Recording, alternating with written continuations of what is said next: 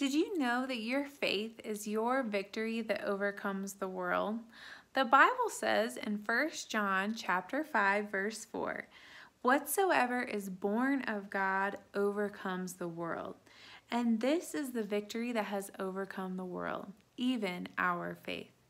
So I want to encourage you today. I know what it feels like when life comes against you. Life can feel like it hits you and then it hits you harder and harder and harder. But that is not God's will. God's will for you is to have the victory, for you to be healed and whole and blessed and prospering and healthy in every area of your life. So when life hits you, I want to encourage you to keep your faith in God because this is the victory that overcomes the world.